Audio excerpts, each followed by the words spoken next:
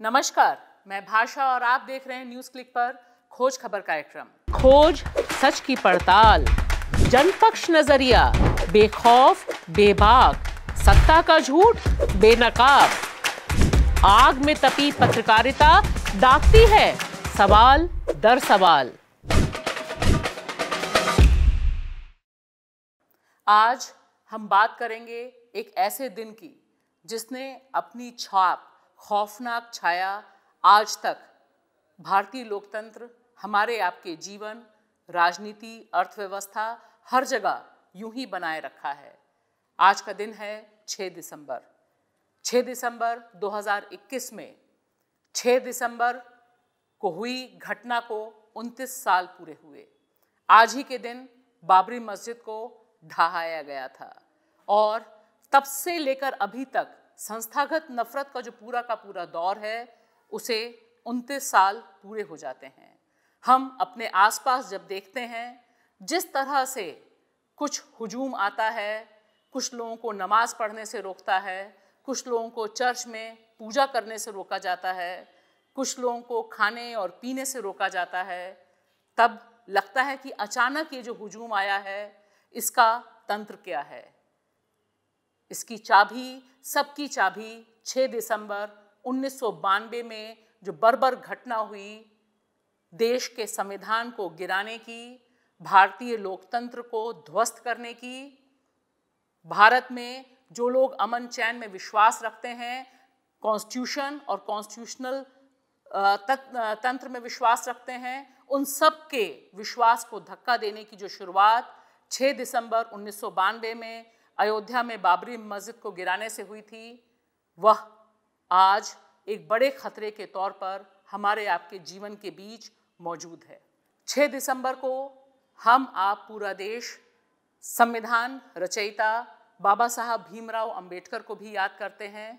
आज ही के दिन उन्होंने हमसे विदा ली थी। पैंसठ साल पहले देश का संविधान पूरा का पूरा ढांचा अलग अलग बहसों के दौर में हमारे सामने जो आज मौजूद है, पैंसठ साल पहले बाबा साहब भीमराव अंबेडकर विदा हुए और 29 साल पहले उनके संविधान पर जो टिकी हुई आस्था थी, लोकतंत्र पे जो टिकी हुई आस्था थी, वह गिरती है बाबरी मस्जिद के साथ साथ और आज जो हमें अपने आसपास दिखाई देता है, वह दिखाई देता है कि वह जो एक तंत्र विकसित हो रहा था, जो यह बताने की कोशिश कर रहा था कि देश का कॉन्स्टिट्यूशन देश की पार्लियामेंट देश का जो पूरा का पूरा कानून व्यवस्था में विश्वास करने वाला जनतंत्र है, वह निर्णायक नहीं है। आज 29 साल बाद उसका चक्र पूरा होता है। इसे समझने के लिए हमने बातचीत की वरिष्ठ पत्रकार राधिका राम सेशन से। वह 5 दिसंबर से 6 दिसंबर के बीच अयोध्या में उसी समय थी, वहाँ आई विटनेस के तौर पे जो तमाम पत्रकार मौजूद थे, उनमें शामिल थी राधिका रामसेशन। उन्होंने बाबरी मस्जिद को गिरते हुए देखा। सिर्फ़ इतना ही नहीं, जो कमीशन बना, लिब्राहन आयोग बना, वहाँ पर जाकर अपना पूरा का पूरा बयान भी लिखाया। आइए जानते हैं कि राधिका रामसेशन किस तरह से यह जो 29 साल का सफ़र है भारतीय लोकतंत्र का उसे देखती हैं और समझती हैं। राधिका जी न्यूज़ क्लिक में आपका हम्म। स्वागत है। आ, हम आपसे ये जानना चाहते हैं कि आज 6 दिसंबर है। आ, आज की तारीख बहुत अहम है भारतीय लोकतंत्र के लिए। और आप की जो भूमिका रही है बतौर सीनियर जर्नलिस्ट जिस समय 6 दिसंबर बानवे में बाबरी मस्जिद गिराई गई तब से लेकर आज तक उस समय का आप आई विटनेस हैं आपने बहुत लंबी प्रक्रिया की आपने अपना जो पूरा ऑब्जर्वेशन था वो भी कमीशन को रिकॉर्ड कराया था। कैसे आज आप देखती हैं 6 दिसंबर को? जी मैं ये जो पूरा प्रतिक्रिया है पूरा मूव मूवमेंट जो कहते हैं जिसको मूवमेंट कहते हैं मैं तो नहीं मानती हूँ कि वो कोई मूवमेंट था।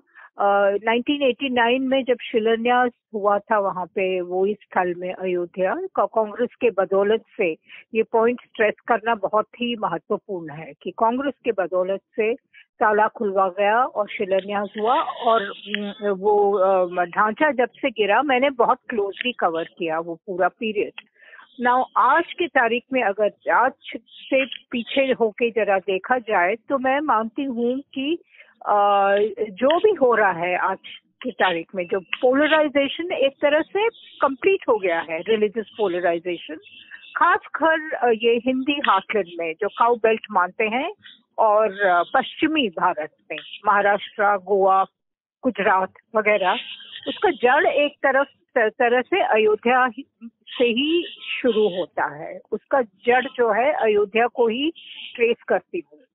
ये नहीं मैं बिल्कुल ये नहीं कह रही हूँ कि उसके पहले कम्युनल राइट्स नहीं होते थे या कम्युनल वायलेंस नहीं होते थे या माइनॉरिटीज के खिलाफ अत्याचार नहीं होते थे होते थे कई जगहों में होते थे। लेकिन वो किसी तरह दब जाते थे।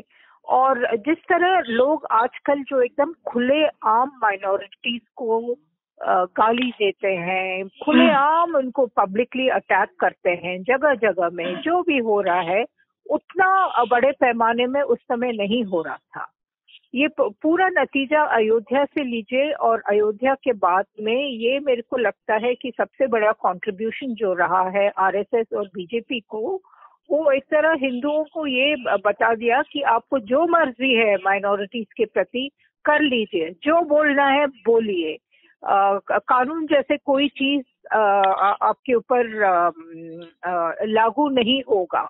आप हिंदू हैं और आप अपना आइडेंटिटी को असर्ट करिए। बिल्कुल कोई गर्व से असर्ट करिए। गर्व से कहो हम हिंदू हैं, वही तो इनका ओरिजिनल स्लोगन था।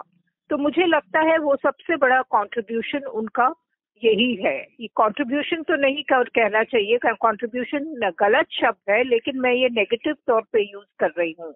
मैं कोई पॉजिटिवली नहीं यूज़ कर रही हूँ। हमने बातचीत की फ़िल्म मेकर आनंद पटवर्धन से, जिनकी फ़िल्म राम के नाम कड़ी दर कड़ी जोड़कर बताती है कि किस तरह से जो हिंदुत्व का उन्माद शुरू हुआ बाबरी मस्जिद के इर्द गिर्द राम जन्मभूमि आंदोलन के नाम पर उसने किस तरह से भारत की साझा विरासत को ध्वस्त किया और वह फिर अंततः बाबरी मस्जिद ध्वंस में कल्मिनेट हुआ। या यूँ कहिए कि वहाँ से जो दौर शुरू हुआ। जिस समय हम और आप बात कर रहे हैं, देश की राजधानी दिल्ली में उनकी यह फ़िल्म राम के नाम दिखाने पर बवाल होता है। हम और आप सब जानते हैं कि जो असहमति के स्वर हैं, उन पर बात करना उन पर बहस करना तकरीबन असंभव सा होता जा रहा है। चाहे वो मुनव्वर फारूकी हो या कुणाल कामरा या अनगिनत लोग, हमारे बीच जितने स्वर मध्यम या तेज हैं, उन सब के ऊपर हमला बहुत तेज है। इसी बीच एक पूरी की पूरी कोशिश हो रही है कि 6 दिसंबर उन्नीस सौ बानबे में जो एक क्रिमिनल एक्ट सुप्रीम कोर्ट ने भी माना कि यह क्रिमिनल एक्ट था। इस क्रिमिनल एक्ट को भुलाने की बहुत तेज़ी से कोशिशें हैं। जो लोग जो लोग इस क्रिमिनल एक्ट को ग्लोरीफाई या शौर्य दिवस के रूप में मनाते हैं, उनके पक्ष में एक बड़ा जनमानस भारतीय राजनीति खड़ी हुई आज की तारीख में नज़र आ रही है। जो क्रिमिनल एक्ट हुआ, उसे जिस तरह से दबा दिया गया, उस पर कोई चर्चा नहीं है, कोई प्रतिरोध की आवाज़ नहीं है, उससे यह भी पता चलता है कि भारतीय राजनीति का जो दक्षिणपंथी रुझाव हुआ, जिस तरफ़ वह गई है, जिस तरफ़ वह आज खड़ी है, यह उसकी परिणति थी। जिसे राधिका राम सेशन कहती हैं कि पूरा जो सर्कल था, पूरा जो सर्किट था, वह पूरा होता दिख रहा है। यह अकारण ही नहीं है कि जिस समय उनतीस साल पूरे हो गए इस क्रिमिनल एक्ट को हुए, जिसे देश, दुनिया सबने देखा कि एक उन्मादी भीड़ बाबरी मस्जिद के ऊपर चढ़ती है, उसे तोड़ती है और उसके बाद से उसे तोड़ने वाले जो लोग हैं, वह देश की सत्ता पर काबिज होते हैं। जो तोड़ने वाली विचारधारा है, वह देश की सत्ता पर काबिज होती है और इस तरह से तमाम जो प्रक्रियाएँ चलती हैं, देश के लोकतंत्र के जितने खंबे हैं, वह सब इस क्रिमिनल एक्ट को न्यू नॉर्मल में तब्दील करते हुए दिखाई देते हैं। आइए सुनते हैं आनंद पटवर्धन को कि वह कैसे देख रहे हैं अपनी राम के नाम की कहानी को 2021 में। जी, नमस्कार। न्यूज़ क्लिक में आपका स्वागत है। 6 दिसंबर 2021 में हम कैसे देखते हैं, आप कैसे देखते हैं? 6 दिसंबर उन्नीस सौ बानबे को और खास तौर से क्योंकि आपने आपने अपनी फ़िल्मों के ज़रिए जो बहुत पैनी निगाह रखी, जिस तरह से जब राम जन्मभूमि आंदोलन पूरा शुरू हो रहा था, बाबरी मस्जिद ध्वंस तक आपकी कैमरे की निगाह वहाँ बहुत तीखी मौजूद रही। आज आप कैसे देखते हैं ये पूरे घटनाक्रम? जैसे आप जानती हैं कि 6 दिसंबर के दो अर्थ हैं। एक तो आज का दिन है जब बाबरी मस्जिद को गिराया, यानी पहली बार अटैक पहली बार नहीं जब फाइनली गिराया गया वो 6 दिसंबर है मगर 6 दिसंबर आज अंबेडकर की भी यानी अंबेडकर के हाँ तो 6 दिसंबर हमेशा हम चैत्य भूमि में जाते हैं और वहाँ पे लाखों दलितों के साथ इस दिन को मनाते हैं। और मुझे याद आ रहा है कि उस 6 दिसंबर को भी जब बाबरी मस्जिद गिराई गई, उस 6 दिसंबर को हम राम के नाम फ़िल्म चैत्य भूमि में दिखा रहे थे। यानी चैत्य भूमि में बड़े सम्मेलन में हम फ़िल्म स्क्रीनिंग कर रहे थे, जब न्यूज़ आई कि एक्चुअली न्यूज़ आ रही थी कि डेमोलेशन हुआ है। और तो 6 दिसंबर यानी दुखद दिन है। इस दिन मेरे ख्याल से यहाँ से हमारी डेमोक्रेसी का खात्मा शुरू हुआ। अभी तक ख़त्म नहीं हुआ है मगर अभी भी कोशिश उनकी तरफ़ से जारी है। और छः दिसंबर को आ, हमें लगा जब पहली बार डेमोलिशन हुआ और उसके उसी दिन शायद सरकार ने अनाउंस कर दिया था कि हम बाबरी मस्जिद उसी जगह फिर से बनाएँगे। ये सरकार उस, उन दिनों की सरकार यानी नरसिम्हा राव की सरकार थी, उन्होंने ये अनाउंस किया था।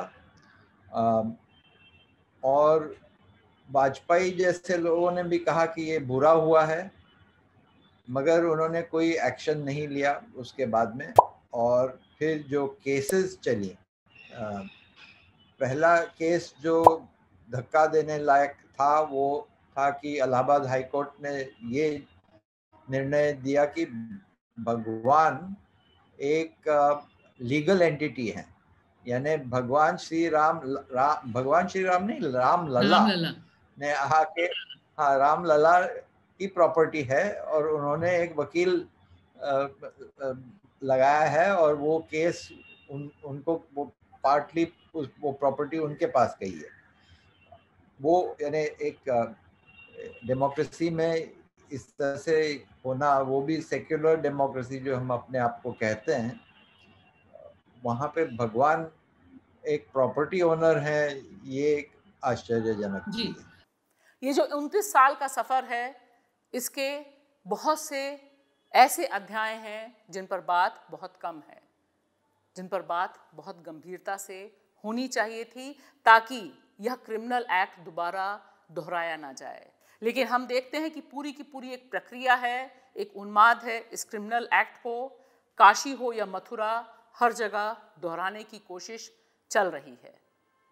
इसमें एक बहुत अहम नाम है, जस्टिस रंजन गोगोई का। उनकी नई किताब आई है, जस्टिस फॉर जज। यहाँ उनका नाम ज़िक्र करना इसलिए बेहद ज़रूरी है, क्योंकि उन्हीं के ज़रिए जो फैसला था, वह भी सामने आया था राम जन्मभूमि पर विवादित फैसला, जिसने अंततः माना कुछ भी हुआ हो, बाबरी मस्जिद गिराई गई हो बानबे में एक भीड़, संगठित पूरा का पूरा गिरोह बाबरी मस्जिद के ऊपर चढ़ा, देश की जनता के सामने उसे ढाया गया, लेकिन दोषी कोई नहीं। जिस तरह से एक फ़िल्म बनी थी, नो वन किल्ड जेसिका उसी तरह से आज की तारीख में नो वन डिमोलिश्ड बाबरी मस्जिद शायद बाबरी मस्जिद अपने आप गिर गई, ढह गई। 6 दिसंबर उन्नीस सौ बानबे को याद करना आज की तारीख में और ज़्यादा ज़रूरी है, क्योंकि हमें दिखाई दे रहा है कि हमारे चारों तरफ़ वही क्रिमिनल एक्ट पूरी की पूरी इम्प्यूनिटी के साथ दोहराने का क्रम चला जा रहा है। अब नागालैंड ही को देखिए नागालैंड में असम राइफल्स ने जिस तरह से कोल्ड ब्लडेड मर्डर किया चौदह लोगों को, जिसका नाम उन्होंने दिया मिस्टेकन आइडेंटिटी, और पूरी की पूरी कोशिश हो रही है कि मामले को रफा दफ़ा कर दिया जाए। जिस तरह से हम देखते हैं कि कश्मीर में जो हिंसा का दौर चलता है, उसे जस्टिफाई करने का दौर पूरा चलता है। उत्तर प्रदेश से लेकर पूरे देश में जो लिंचिंग मॉब तैयार की जा रही है, वह सब की सब आग पा रही है। 6 दिसंबर उन्नीस सौ बानबे में जो क्रिमिनल एक्ट भारतीय लोकतंत्र में सबसे बड़ी जो दीवार गिरी सबसे बड़ी जो खाई गिरी हमारी साझा संस्कृति को ध्वस्त करने के लिए वहाँ से। वहाँ से जो नफरत का दौर, एक क्रिमिनल एक्ट, क्रिमिनल गूंस और उसके बाद उसका जो पॉलिटिकल पेट्रोनेज या यूँ कहिए कि जो राजनीतिक रंग अख्तियार किया, उस पूरी घटना ने उसके इर्द गिर्द आज भारतीय लोकतंत्र बहुत पंगु नज़र आता है, बहुत ही घुटना टेक स्थिति में भारतीय लोकतंत्र है। शायद आज की तारीख में 6 दिसंबर उन्नीस सौ बानवे में जो खौफनाक घटना, जो खौफनाक मंजर हुआ, जिसने भारत में आज़ादी के बाद से सबसे बड़ी लकीर खींची कि अगर एक उन्माद को राजनीतिक वर्धहस्त मिलता है तो वह किस तरह से धज्जियाँ उड़ाती है देश के संविधान की, देश के लोकतंत्र की, देश के कानून व्यवस्था की, उसकी बानगी तब से लेकर आज तक हमें बहुत साफ़ दिखाई देती है।